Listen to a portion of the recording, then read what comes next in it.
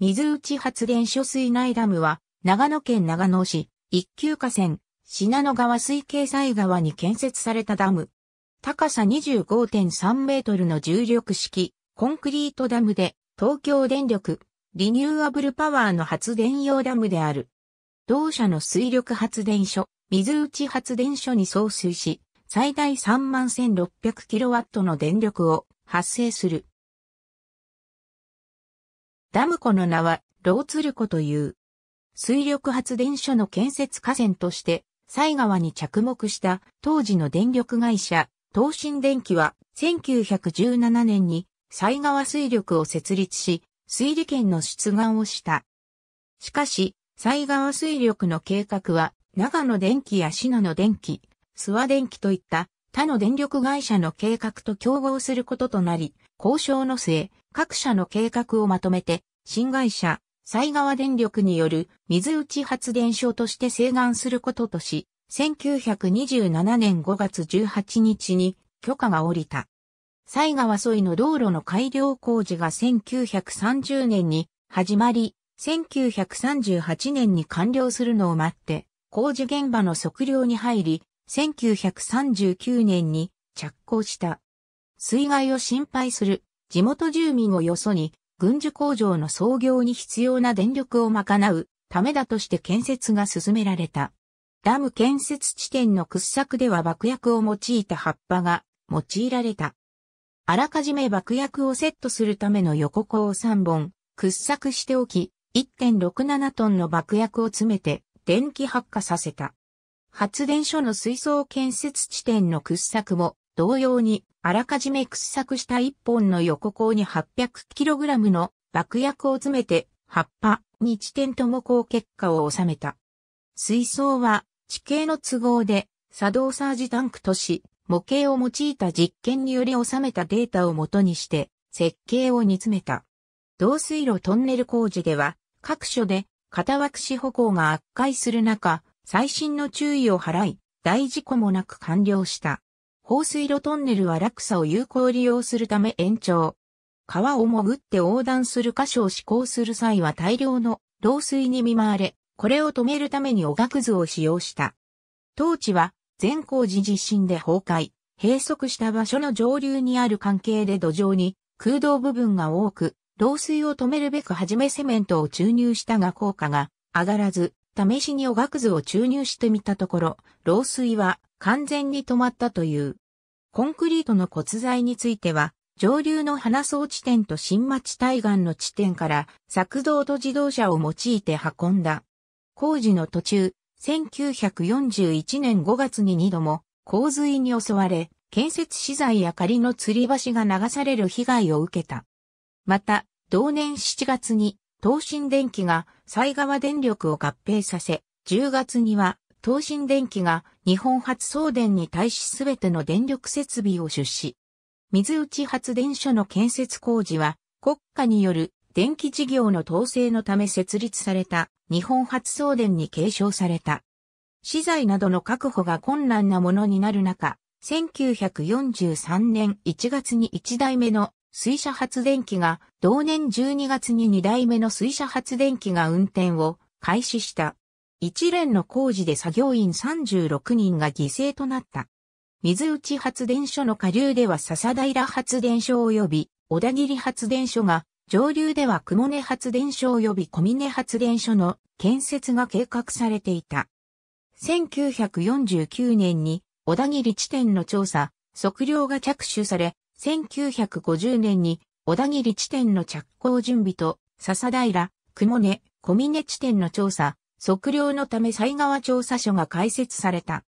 1951年、日本発送電の会社分割により、水内ダム及び水内発電所は東京電力に継承された。世相が安定した1954年、3代目の水車発電機が運転を開始し、水内発電所の完成を見た。東京電力は水内ダム上下流での開発計画も継承し、下流の笹平発電所及び小田切発電所を1954年に運転を開始。一方、上流の雲根発電所、小峰発電所は、生坂発電所、平発電所として建設され、平発電所が1957年に、生坂発電所が1964年に運転を開始している。平成に入り、水内ダムの放流設備である洪水破棄ゲート全14門が老朽化しているとして、順次取り替える工事が1993年から10年間かけて行われた。また、水内発電所では水車発電機が老朽化しているとして、順次取り替える工事が1997年から行われた。現在の出力は31,600キロワットである。久米路橋にかかる、久米路橋長野市中心市街地から国道19号を、西川に沿って、上流の松本市方面へ進むと、小田切ダム、笹平ダムを経て、水内ダムに至る。水内ダム付近には、水沢入口バス停がある。長野駅から長野市新州新町地区までアルピコ交通によって路線バスが運行されている。ダムに蓄えた水は左岸の取水口から取り入れられ、トンネルを通じて下流の水内発電所建物まで送られ、発電後にトンネルを通じて西川へ戻される。発電所では、はじめ約30人の職員が働いていたが、1978年以降は、新州新町上条に設置された、西川総合制御所から生坂、平、水内、笹平、小田切の発電所群がまとめて制御されることになった。ダムの上流には、名称、クメロ橋があり、当地には、県下、信濃の国にも登場する、クメロ橋がかかっている。当地では、水内ダムが完成する前は、奇岩が転がる崖下を西川が激流となって流れていた。川幅の狭さから水内ダムと合わせて上流の集落で起こる水害の原因とみなされており、クメロ橋の上下流を貫く河川トンネルが2本建設された。クメロ橋を過ぎると、新州新町地区の中心市街地である。ローツル湖と名付けられたダム湖上では、屋形船が運航されているほか、毎年8月15日には、送り盆の行事として灯籠流しと花火大会が1940年代から開催されている。湖畔には500本の梅の木が植えられたろうかく梅園があり、春はろうかく梅園花祭りが開催される。当地には多くの画家が訪れており、二紀会の栗原信もその一人である。彼は中条村に疎開した画家の鳥取便を訪ねたおり、1946年に初めて当地を訪れた。当地からの眺望を気に入り、絵を描く傍ら、当時の水内村村長に対して、フランスの農村にはどこでも美術館がある。日本もそうありたいと伝え、これが湖畔に新州新潮美術館が建設されるきっかけとなったという。完成した美術館には彼が生前に送った油彩、北遠望と彼の死後に遺族から贈られた水彩画20点が所蔵されている。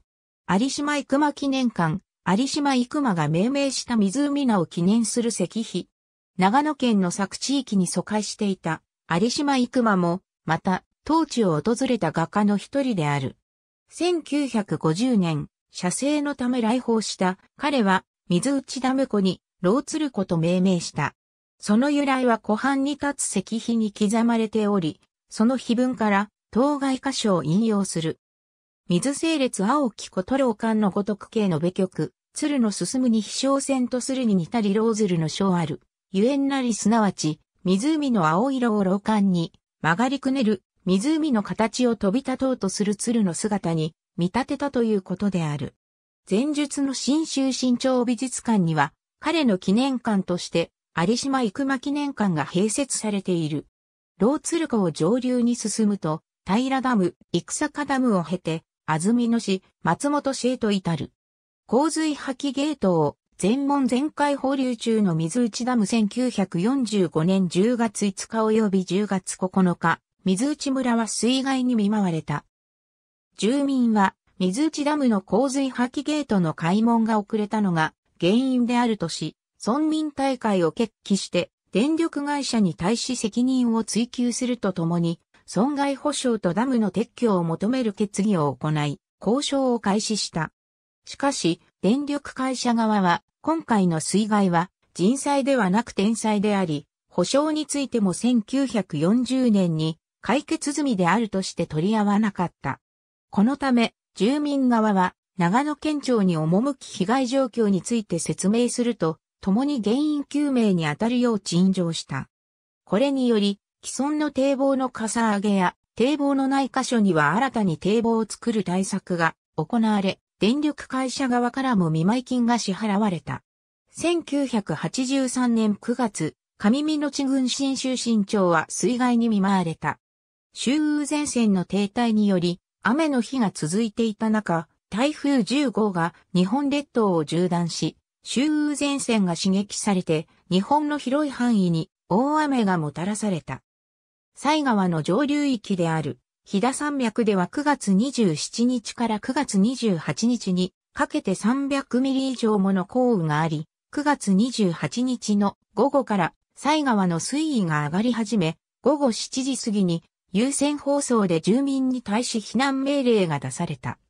住民は1945年の水害後に堤防が整備されたほか、上流域にダム群が建設されているとして、あまり深刻に考えていなかったが、夜半になりついに堤防から水が溢れ出した。その後、水位は河口に転じ、朝には排水。川の水位は最高431.3メートルまで上昇したが、浸水域の水位は最高でも429.9メートルであった。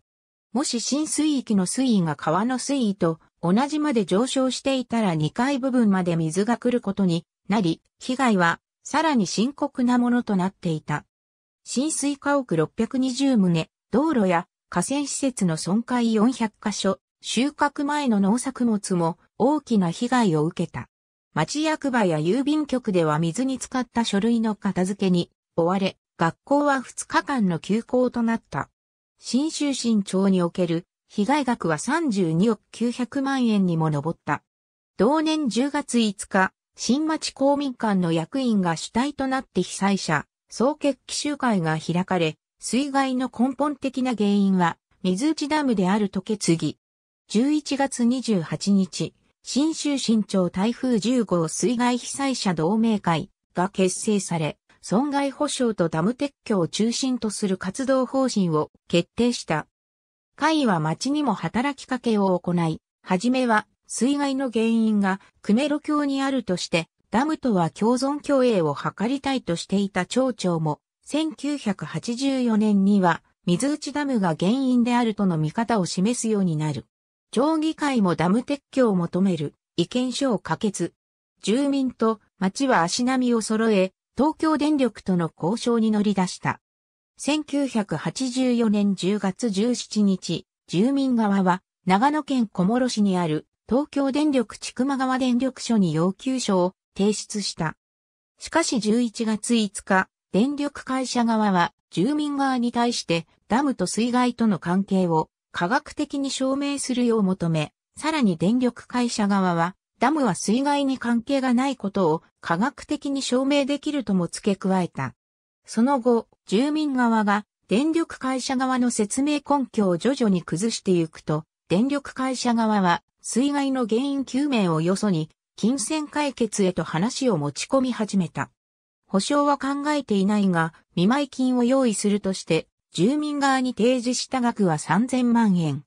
交渉の進展とともに、見舞金は解決金という名前に変わり、額も億単位に増えていった。そして1986年、電力会社側は5億円の解決金と、総額3億8500万円の被災地生活再建対策費を支払うとともに、1987年以降のおおむね5年間、水内ダム湖に堆積した土砂を浚渫するとして、交渉は妥結した。完成した西川久米の寺高級治水対策事業、長野県は、今回の水害を受け、当地の50分の1の模型を用意して、推理実験を実施し、その結果を踏まえ1987年2月12日に恒久的防災治水対策の最終案を発表した。水害の原因はダムではなく、クメロ橋の影響とした上で3点の施策を示した。川幅が最も狭いクメロ橋の左岸を30メートル削って、川幅を現状の2倍に拡幅する。久米路橋の上流にある原神寺の対岸の杉山を76.5メートル削る。久米路橋の上下流を結ぶ河川トンネルを開削する。以上の施策は同時に施行することによる複合効果を期待するものであるとされた。住民側は水害の原因設定が正しくないとし、県の案ではダムの影響が解消されない点を指摘する声があったが、結局この案で妥協するに至った。1992年8月、3点の施策のうちの1点に挙げられていた河川トンネルが完成。水路の全長は229メートルで、うち117.5メートルが新オーストリアトンネル工法による直径10メートル、断面積80平方メートルのトンネルである。想定しうる3500リッター片メートル毎秒の洪水のうち400リッター片メートル毎秒をトンネルで通過させる。総工費は15億7500万円。原神寺対岸の杉山改作についても2008年までに完了した。残る久米路橋の改作については、景観破壊との批判が強く、長野県は、後期と費用を抑えるため久米路橋の改作を中止し、新たに河川トンネルをもう一本改作した。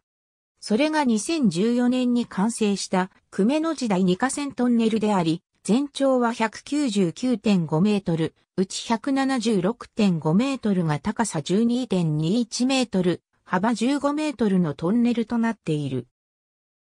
こうした施策により、4000リッター片メートル毎秒の洪水地に際しても、新町橋付近における河川水位は、堤防の余裕口120センチメートル内に収まることとなった。